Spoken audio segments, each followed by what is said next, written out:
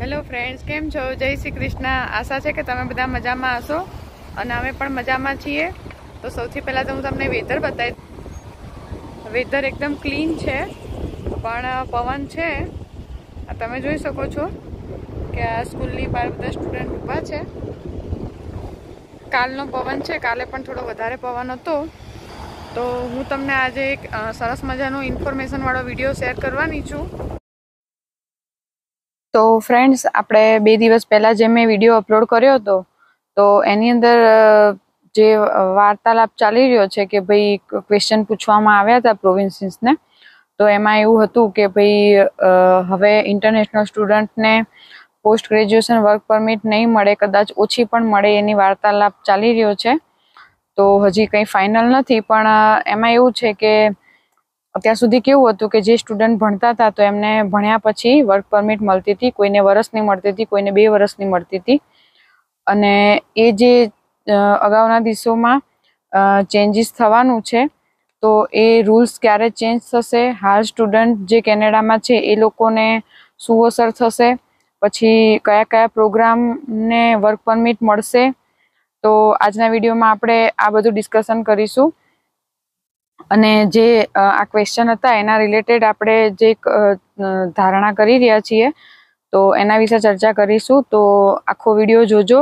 અને જો તમે મારી ચેનલમાં નવા હોય સબસ્ક્રાઈબ ન કરી હોય તો કરી દેજો અને વીડિયો શેર જરૂરથી કરજો, કે જેથી કરીને બીજાને પણ ઇન્ફોર્મેશન મળી રહે. તો સૌથી પહેલાં તો આપણે વાત કરીશું કે કેનેડાના જે ન્યૂ અપડેટની તો હાલની કન્ડિશન મુજબ આપણે જોવા જઈએ કે અમુક કોર્સ અને ડિમાન્ડ અમુક કોર્સ અને એની સ્કિલની ડિમાન્ડ નથી. તો લોકોને જોબ નથી મળતી. સ્ટુડન્ટ ટેન્શનમાં ફરતા હોય છે. અને અત્યારે જોબ ના હોય તો ઓફિયસ કે ભાઈ પ્રોબ્લેમ હોય.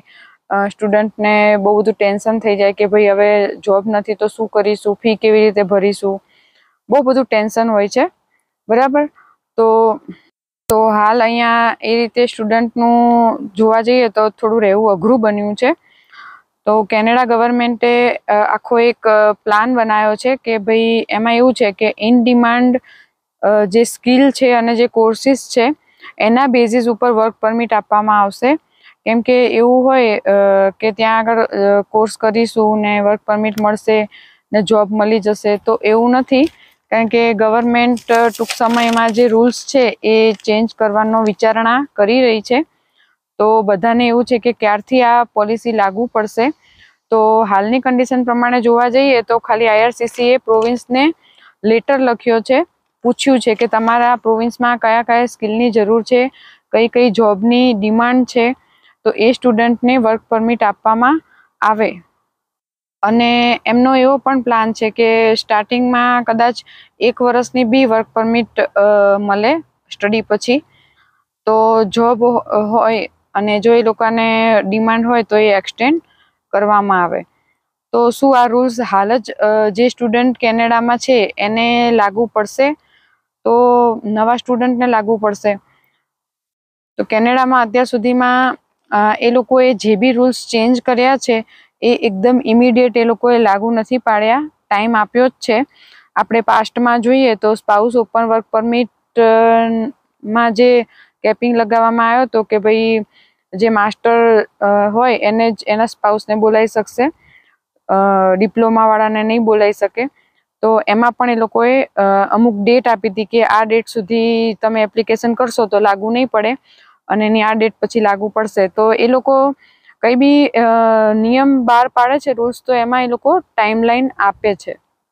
તો આશા છે કે આ જે રૂલ્સ છે, એની ચર્ચા વિચારણા ચાલી રહી છે, તો આમાં પણ ગવર્મેન્ટ ટાઈમ આપે એવી આશા રાખીએ છીએ. અને આ ન્યૂઝ એ લોકોએ પહેલેથી એટલે રિલીઝ કર્યા છે કે ભાઈ મેન્ટલી આપણે પ્રિપેર રહીએ. બરાબર? હજી કંઈ ડિસિઝન નક્કી નથી, પણ મેન્ટલી આપણને ન્યૂઝ સાંભળ્યા પછી આપણને ખબર પડે કે ભાઈ આ કા પેલું બેમાંથી એક થશે. જો નવા સ્ટુડન્ટ આવવાના છે તો એમને પણ આઈડિયા આવે અને જે લોકો અત્યારે અહીંયા કેનેડામાં છે, એ પણ પોતે મેન્ટલી પ્રિપેર રહે.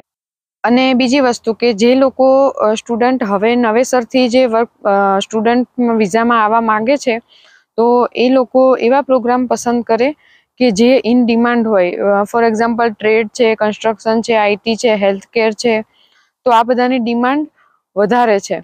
તો એવા કોર્સ પસંદ કરે અને કોઈ એમ કહેશે કે ભાઈ, અમે આ કોર્સમાં અમે નથી, ચલો, અમે આઈટીમાં નથી કે અમે હેલ્થ કેરમાં નથી, તો અમારે શું કરવું? તો એની માટે બી અમુક અમુક શોર્ટ કોર્સ હોય છે જે ઇન ડિમાન્ડ કેનેડામાં ચાલે છે. તો તમે એ પણ ચૂઝ કરી શકો છો. તો બહુ બધા લોકો મેં અહીંયા જોયા છે કે ભાઈ આઈટી ફિલ્ડમાં હોય અને અહીંયા આવીને ફિલ્ડ ચેન્જ કરી દીધું હોય કે એકાઉન્ટ ફિલ્ડમાં હોય અને અહીંયા આવીને આઈટી ફિલ્ડમાં લાગી ગયા હોય. એવા બધા પણ લોકો બહુ બધા છે. તો હાલ આપણે જોઈએ તો આના મુજબ એવો અંદાજો લગાવવામાં આવે કે ભાઈ આ જો રૂલ બહાર પડે તો કોને કોને વર્ક પરમિટ મળે. તો એમાં છે કે હેલ્થ કેર છે, પછી ટ્રેડ છે, આઈટી છે, કન્સ્ટ્રક્શન છે. તો આ બધાને આ બધાની જોબ અહીંયા ડિમાન્ડમાં છે. તો એ લોકોને વર્ક પરમિટ મળી શકે અને વધુમાં એ હજી ફાઇનલ નથી. પણ હાલ જે કેનેડામાં જે સ્ટુડન્ટ હાલ કેનેડામાં છે અને એ લોકોએ જે અલગ અલગ કોર્સ પસંદ કર્યો છે, તો એ સ્ટુડન્ટને આ રૂલ્સ લાગુ પડશે કે નહીં? તો એની હજી વિચારણા ચાલી રહી છે, હજી એ ફાઇનલ કર્યું નથી. તો આમાં કેવું છે કે ભાઈ ઘણા લોકોને કેનેડામાં આવવું હોય છે, તો એટલે કે સ્ટુડન્ટનો કોર્સ લઈ લે સ્ટુડન્ટમાં એક વર્ષનો કોર્સ કરી લેશું અને વર્ક પરમિટ લઈ લેશું. પણ મારી મંતવ્ય પ્રમાણે આપણે વિચારીને આવવું જોઈએ. જો તમારે વર્ક માટે જ આવવું છે, તો તમે વર્ક પરમિટ એપ્લાય કરો. બરાબર? તમારે જો સ્ટુડન્ટ માટે જ આવવું છે, તમારે ભણવા માટે જ આવવું છે પ્રોપર કોર્સ કરવા માટે, ત્યારે તમે સ્ટુડન્ટ વિઝા અપ્લાય કરો. અને જેને ફેમિલી સાથે પીઆર થઈને જ આવવું છે, તો પીઆરના પણ બહુ બધા અલગ અલગ કોર્સ બહાર પાડ્યા છે ગવર્મેન્ટે જેવી રીતે રૂરલ પ્રોગ્રામ છે અલગ અલગ પ્રોવિન્સના અલગ અલગ ટેક પાયલટ પ્રોગ્રામ છે. પછી પીએનપી પ્રોગ્રામ છે. દર વખતે ગવર્મેન્ટ નવા નવા રૂલ્સ પીઆરના લાવતી જ હોય છે. તો તમે એ પસંદ કરો અને ડાયરેક્ટ તમે તમારી હોમ કન્ટ્રીમાંથી પીઆર થઈને જાઓ કે જેથી કરીને કોઈ બી તકલીફનો તમારે સામનો ન કરવો પડે. કારણ કે આમાં તમે સ્ટુડન્ટ એઝ એ આવો, બરાબર? અને એવું વિચારો કે પછી વર્ક પરમિટ થઈ જશું ને પછી પીઆર થઈ જશું.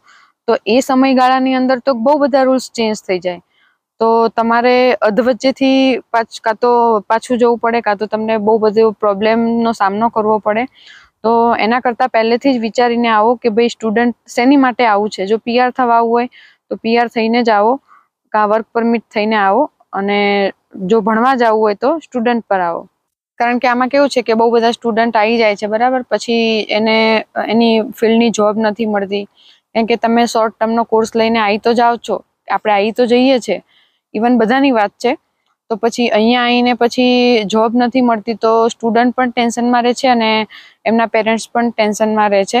તો એના કરતાં બેટર છે કે ઘણા લોકો બહાર પછી પણ આવવા માગે છે. તો આવો તો સમજી વિચારીને પ્રોપર રિસર્ચ કરીને અને તમારે કયો કોર્સ કરવો છે, એ કોર્સ લેવાથી તમને ફ્યુચરમાં તમને શું બેનિફિટ મળશે, એનું સારું નરસું બંને પાસા તમે જુઓ અને પછી તમે કેનેડા આવો તો જેથી કરીને તમને કોઈ પ્રોબ્લેમ ન થાય.